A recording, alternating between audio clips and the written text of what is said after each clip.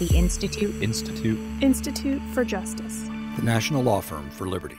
Hello and welcome to Short Circuit, your mostly bi weekly podcast on the federal courts of appeal. I'm your host, John Ross, joined by Sheldon Gilbert, the director of IJ's Center for Judicial Engagement, as well as special guest Clark Neily. Clark is a founding member of this show who is now the vice president for criminal justice at the Cato Institute. Clark, welcome back. It's great to be back. Thank you. The issue of qualified immunity comes up often in Clark's work, and that's what we'll be discussing today. Let's start things off with a quick intro to qualified immunity, Clark. So, qualified immunity is a doctrine that the Supreme Court invented out of whole cloth in uh, 1982 to make it very difficult uh, for citizens to sue public officials, including particularly police officers, for misconduct. Essentially, what the qualified immunity doctrine says is that, contrary to the language of uh, 42 USC Section 1983, which gives people a statutory right to sue state actors who violate their rights. Um, contrary to that statutory language, uh, if you're suing a public official, including a police officer, you actually have to show that the right in question was quote unquote clearly established. Uh, and that term essentially has come to mean that every reasonable police officer would know beyond any doubt that the conduct they engaged in was unconstitutional. And in effect, in practice, what it means uh, is that you can only sue police officers who essentially um, intentionally violate your rights, knowing that they're doing so, or are incompetent beyond imagination, just completely incompetent. And it makes it very difficult. It, it serves as a very effective bar to preventing people who have suffered uh, injuries from the misconduct of police officers from holding them civilly liable. And that's its function.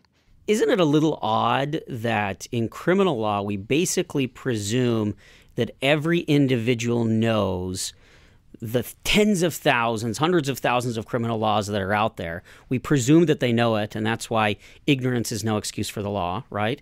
Um, but with qualified immunity, there's basically a presumption that the police officers who are charged with enforcing the laws don't know what the Constitution tells them that they can or can't do. Doesn't that just flip things on its head? It's a great point, and I think whether it seems odd depends on how much you know about constitutional and criminal law. Um, if you're sort of a naive person who thinks that the law should be fairly consistent, it would seem odd. If you know a lot about criminal law and constitutional law, what you know is that it's absolutely jam packed with double standards um, that hold citizens to one standard and public officials to a much different and usually much more lenient standard. So, yes, it's weird, um, and and I would say. Um, unjustifiable, but it is a perfectly routine feature of uh, of this area of the law. By which I mean, again, courts uh, inventing double standards so that government uh, agents are held to a lower, more favorable standard than citizens. Very common. Now, you said that the the first question that courts ask in deciding whether or not uh, officers are immune is whether or not every reasonable police officer would know with kind of without a shadow of a doubt that what they were doing violated the Constitution. How do courts decide that? How do they decide whether or not every reasonable officer, you know, would know something? Uh, in a word, in a very inconsistent way. Uh, there's all kinds of different formulations of the qualified immunity test. It's very difficult to reconcile them. Uh, but what emerges is essentially an attempt by the courts to um, uh, place themselves in the shoes of a quote unquote reasonable police officer who is well read in the precedents of that jurisdiction and just ask, you know, knowing those cases, would you or would you not understand that the thing that you're about to do, whether it's shooting a fleeing suspect or, as we will get to later, uh, taking someone into custody who hasn't done anything wrong but was just present when a crime was committed because you want to question them, would you know that that is absolutely forbidden? And one of the most challenging questions in this area is just how on point does the prior case law have to be? Uh, and you'll see a huge range um, uh, of, of, of uh, approaches that the courts take to that. Sometimes they'll say, you know, it doesn't have to be exactly on point. If it kind of puts you on notice, that's enough. And in other cases, they'll say practically, it has to be virtually an identical set of facts, or there's no way that cop could have known that he shouldn't have done that thing. Notwithstanding the point the Supreme Court has disclaimed that level of specificity, some uh, lower courts tend to apply qualified immunity in, in, precisely that way. Now, it seems to me that, uh, and I think this is pretty well established, that any time uh, there's very broad discretion for a government actor, or, or in this case, for, for judges um, to to determine whether or not something is is uh, reasonably established for every officer. That you then open the door to all sorts of strategic behavior by judges, right? And this reminds me of the law review article by Chris Walker and Aaron Nielson, where they do this empirical study of something like 800 qualified immunity decisions, and they find this really interesting pattern that if you have an all Republican panel of judges at the circuit courts, then they find that the law is not clearly established, and therefore there's qualified immunity. If you have an all Democrat panel, uh, more often than not, they find that the law is clearly established, and therefore there is no qualified immunity. And when you have mixed panels, you get kind of mixed results, right? Um, and, and that that seems troubling that you would get radically different types of outcomes based on the type of judges that you that you happen to draw. I think that's right, I, I, and I would add two points. Uh, the first point is that the um, room to work, so to speak, in this area is so broad that I would say that it's more often the case that you can plausibly reach any result you want in a qualified immunity case. In other words, whether to apply it or not apply it. Um, so you can you can more often than not you can reach any result you want. There are probably a minority of cases where the the correct outcome is pretty clearly determined. Um, the other thing that's really important to know about this is the subtext. In other words, the contextual um, environment in which these cases are decided. And the most important feature of that environment is the fact that the Supreme Court is very, very aggressive about granting cert in qualified immunity cases, but not across the board. They grant cert when qualified immunity has been withheld. And it's one of two areas of law, the other one being habeas corpus, where uh, the Supreme Court is almost certain to get involved. They pounce in a heartbeat if they see qualified immunity withheld in uh, a civil rights case. Um, and almost always they jump in in order to reverse the decision uh, and instruct the lower court that they should apply qualified immunity in, in order to let the officer off the hook. And the Supreme Court, as I said, is extremely inclined and very, very um, consistently jumps into these cases in order to shield police officers from liability. Okay, well, that's a perfect segue to our first case, which comes out of the 10th Circuit. Clark? So this is a case we've covered once before on Short Circuit. Um, it's returned now to the Tenth Circuit. Case is called Pauly v. White. Um, quick summary: uh, three officers responded to a report of possible road rage on a highway in New Mexico. By the time they arrived, the driver in question uh, had returned to his house a little ways away. It was on top of a hill in a wooded area. Um, the police officers identified the the complaining witnesses uh, and determined that you know this guy has driven off to his house. It's late at night. It's raining. There is no urgency. There are no exigent circumstances. There's no reason whatsoever why they should go to that house in the middle of the night instead of just noting the address and returning uh, to talk to the the, the possible um, perpetrator the next day. But for whatever reason, they decide that they are going to um, um, go and try and talk to him in the middle of the night, uh, in the middle of a rainy night. And what happens is three police officers approach the house. There's some dispute about whether they sufficiently identify themselves as police officers. There are two brothers in the house. Um, one of them dies and one of them survives. The surviving brother says they were absolutely terrified because they saw these people uh, moving around out in the essentially out in the bushes and not identifying themselves. So they armed themselves and said, "Get away." Um, and that's when things get really murky about who said what and, and who did what. But what isn't disputed is that eventually uh, shots were fired, and one of the police officers killed one of the brothers. And then uh, the the survivor of the remaining brother, his father, and the surviving brother brought suit against the police officers. And the gist of the case is, was that shooting justified? Um, or more precisely, were the officers who created a situation in which the fatal shooting occurred entitled to qualified immunity or not entitled to qualified immunity? And really, it all boils down to um, should they have known that there was a clear constitutional right on the part of the brothers occupying that house not to be subjected to the conduct uh, that they experienced? In this case, um, attempting to illegally enter a house in the absence of a warrant with no exigent circumstances, leading to uh, a deadly exchange of gunfire. And this isn't the first time the Tenth Circuit has taken on this case, is it?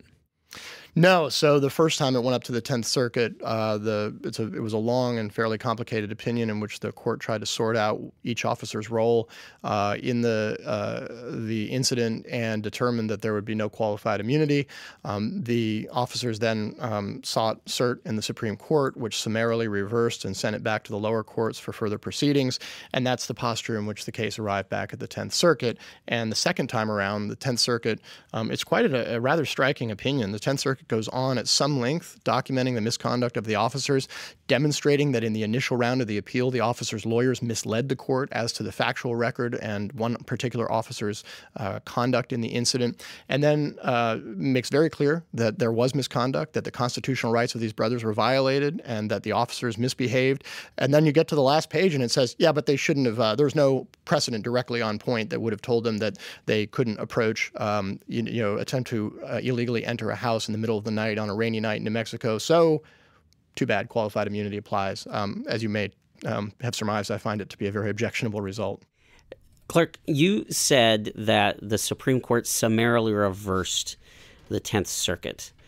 Uh, and you also described the Tenth Circuit's original opinion as uh, as very detailed, very engaged, um, really looking carefully at the details. Um, what's the significance of the Supreme Court summarily reversing? What does that mean? Can you tell us?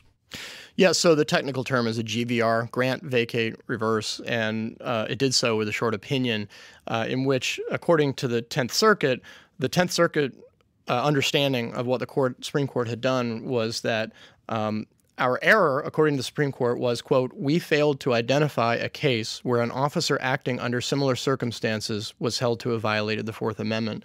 Um, I don't think it's too much of an exaggeration to say that the panel's understanding of the Supreme Court's ruling seems to be, hey, you guys didn't identify a case where three police officers approached a house in the woods on a hill at night in the rain at 11:15 p.m. and one of them was named Officer White. And if there's no case like that on the books, then these guys couldn't have known, um, or they weren't, um, you know, on notice, and it wasn't clearly established that what they did was impermissible. Um, that is a little bit of an exaggeration, but it's not much of an exaggeration. Okay, Sheldon, let's move on to our next case then, which comes out of the Fifth Circuit.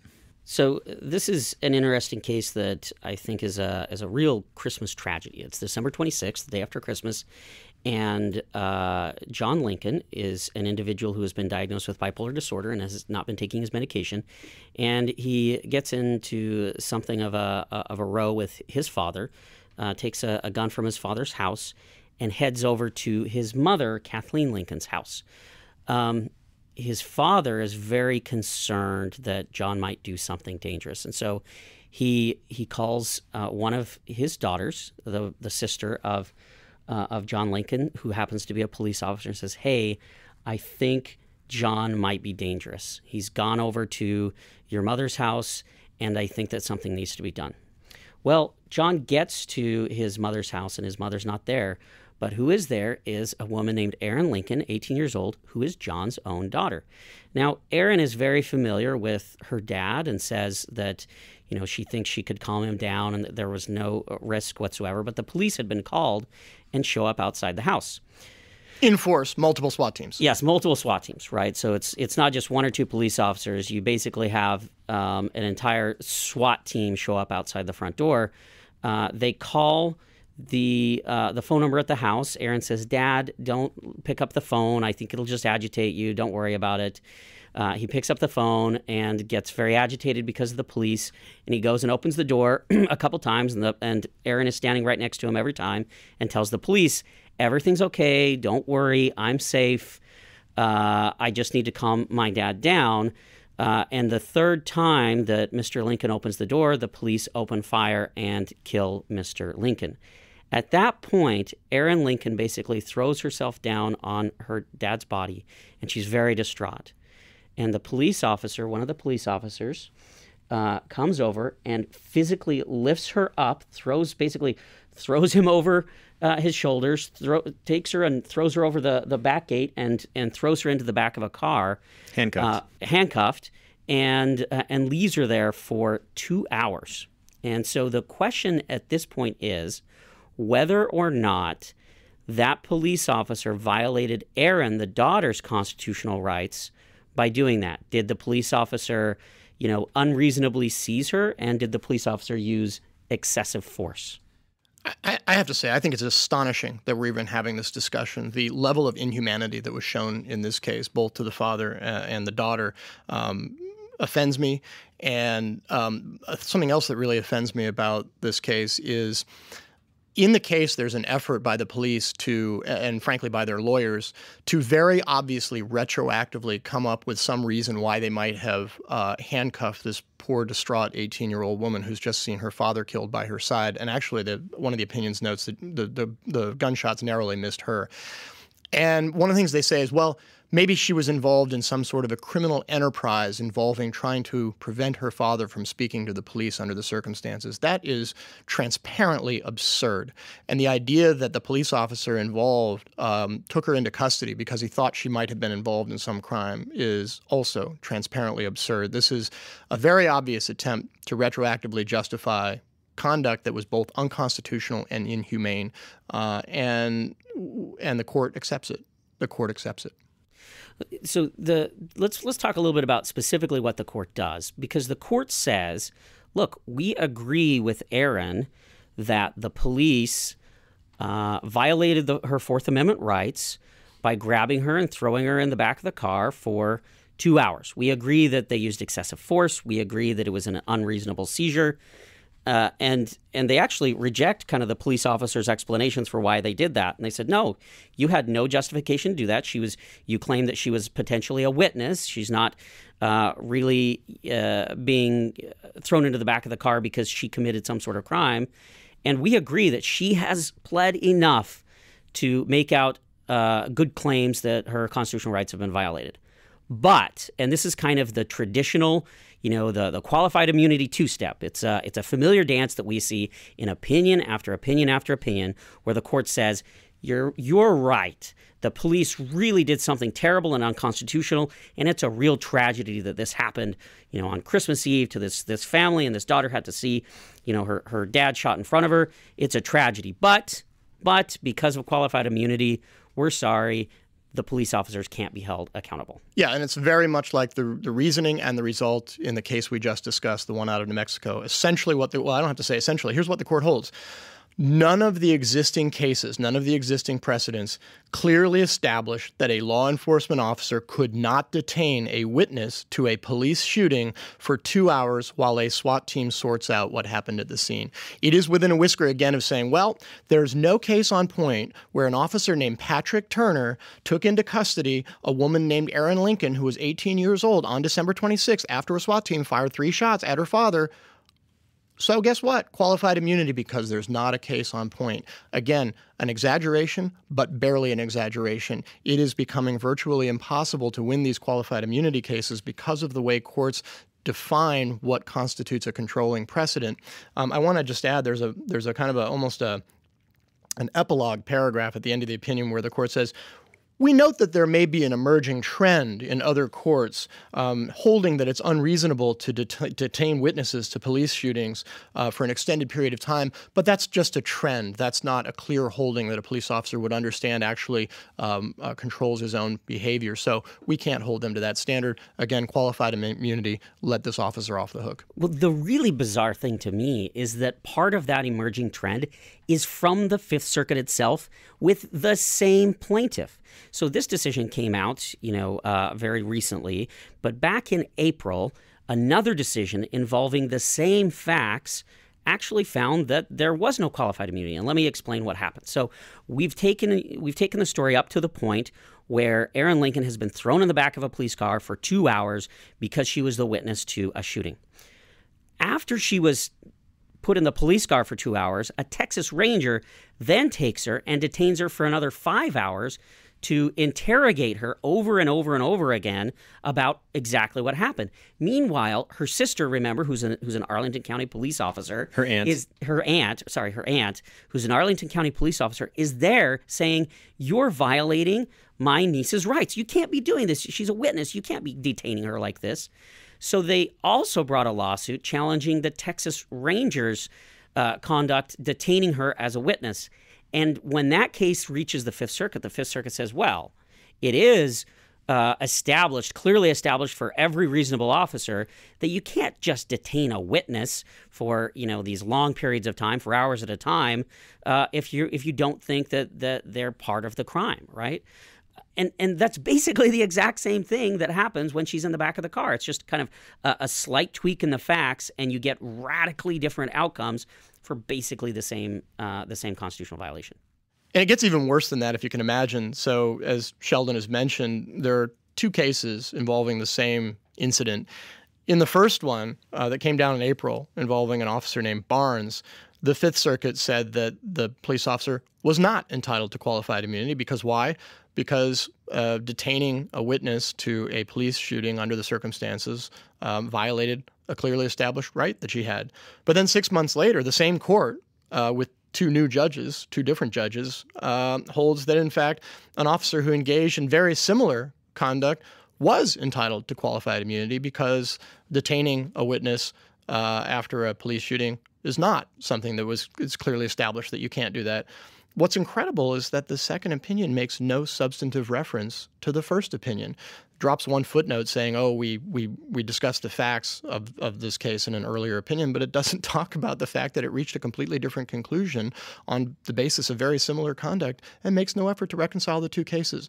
I on one level I find that mind-boggling. On the other level, I find it perfectly consistent with how courts approach qualified immunity cases, which is essentially find a way for the officers to win whatever it takes and work backwards from there. And I think that is frankly a fair uh, description uh, of the of the Turner case that we've been discussing. Okay, well, let's move on to the next case, Clark, which also comes out of the Fifth Circuit. So, this case involves less tragic circumstances than the ones we've discussed before. Um, nobody got killed, but it's absolutely jaw dropping what happened in this case. And I can tell you very brief, briefly essentially, a woman is um, arrested pursuant to a drug warrant. She's uh, taken to a, uh, this is in Mississippi, she's taken to a local jail, and she sits there for 96 days without any kind of a hearing or an arraignment. Why? Because there's a, the, the court is not in session for three months. There's just apparently no judge available to come and, and uh, arraign her and set bail or do any of these other things. Oh, and by the way, it turns out that once, once she finally does get some due process, she turns out to be innocent of these charges. She sits in jail for three months without any kind of judicial intervention um, and uh, then sues the sheriff and the county that were responsible for this. And their argument is essentially hey, there's nothing on the books that says you can't throw an innocent person in jail and keep him for three months without giving him access to a judge. So must be good. Or at least we're not, we certainly can't be held liable for it because there is no case on point saying that you can't hold a woman named Jessica Jauch, which is apparently her name, in a county prison for 96 days without any uh, access to a judge. There's no case that says exactly that, so we get qualified immunity. And the district court agrees. And what does the Fifth Circuit say, Sheldon? The Fifth Circuit, in you know one of these rare examples of a court finding uh, that there is no qualified immunity says we don't buy it. Come on, this is ridiculous. Uh, every reasonable police officer would know that you can't hold someone in basically indefinitely in jail without access to a, a hearing, uh, access to a judge, and uh, and so she's able to proceed with her claim, and it's a completely different outcome than you get in most cases. Yeah, and I have to say one of the things I, I you know what the the defendants in this case they're right there is no case that is clearly on point that says that you can't let somebody rot in jail for three months without access to a judge. The court really kind of has to cobble that together, and you know that they're kind of doing something a little off the books when they go all the way back to old timey England and they're citing decisions and commentators from England. Um, that's sort of a dead giveaway that there isn't actually uh, a Fifth Circuit case directly on point. Um, so, in a weird way, I think the defendants are right in that they were probably entitled to qualified immunity under um, the existing doctrine, which requires a, a, case clearly on point. But I think that doctrine itself is bankrupt. And so it's, uh, in a weird way, the court got the right result probably in this case, but it did so largely by ignoring um, the the what qualified immunity has become, which is in essence a get off the hook uh, free doctrine for law enforcement. So, not sure if it's a right result or not, but it's certainly a just result. You know, uh, one of the interesting things about qualified immunity, and we've talked about this, Clark. Um, you mentioned at the beginning of the episode that uh, qualified immunity was invented out of whole cloth by the Supreme Court, and uh, I think there's a there's a growing recognition among a lot of folks, including judges, that this is actually the case. Uh, there's a, a, really interesting uh, law review article by a Chicago law professor, Will Baude, uh, that talks a little bit about this. Former IJ clerk and former IJ clerk and Chief right. Justice Roberts clerk. Yep. Yeah.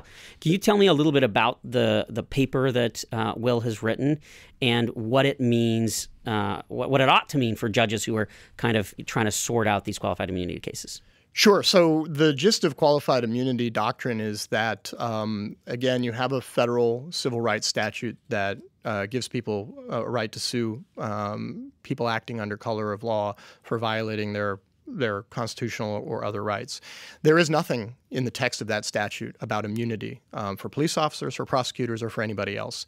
So, uh, over you know, in a series of cases, the Supreme Court has engrafted uh, onto the text of this statute various immunity doctrines: qualified immunity for police, absolute immunity for prosecutors, um, uh, it has eliminated the doctrine of respondeat superior, meaning that the employer is liable for the actions of the employees. Just a, a whole bunch of government favored favoring doctrines that the Supreme Court has invented and engrafted onto the text of 42 uh, section 1983.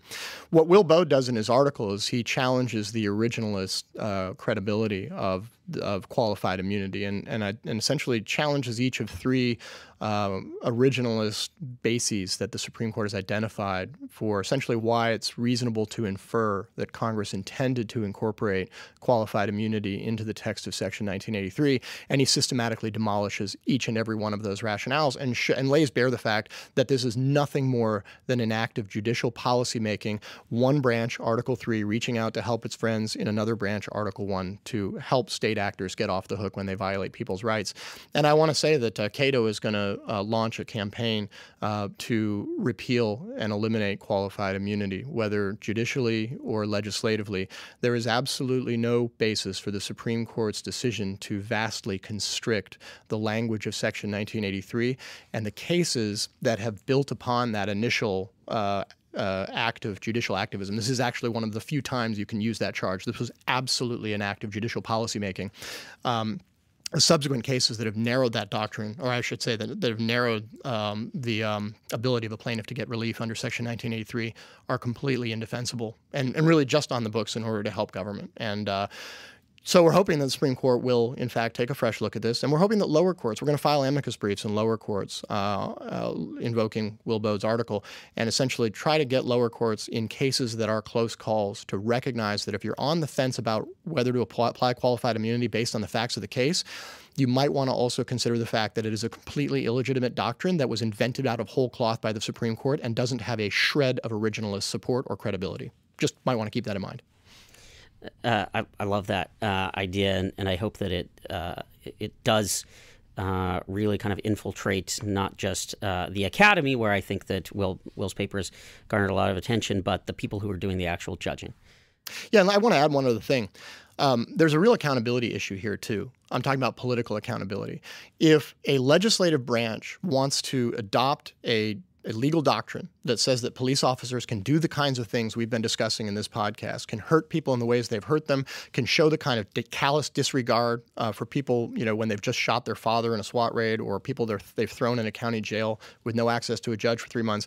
If Congress wants to say that the, the people who engage in that conduct should be let off the hook, Congress should say so. And then it should take the political hit that comes when people say, hey, this is not a good policy. We shouldn't be letting police officers off the hook who engage in this kind of conduct. Right here, there's no accountability because what you've got is the Supreme Court imputing to Congress an intent to let these police officers off the hook, um, even though Congress never explicitly said so. That is an absolute short circuiting, to coin a term, of the political process. And uh, that's, that alone would be a good reason for eliminating qualified immunity.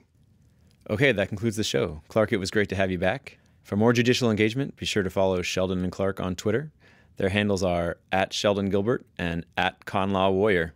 Until next time, this is John Ross from the Institute for Justice, sweet talking you to get engaged.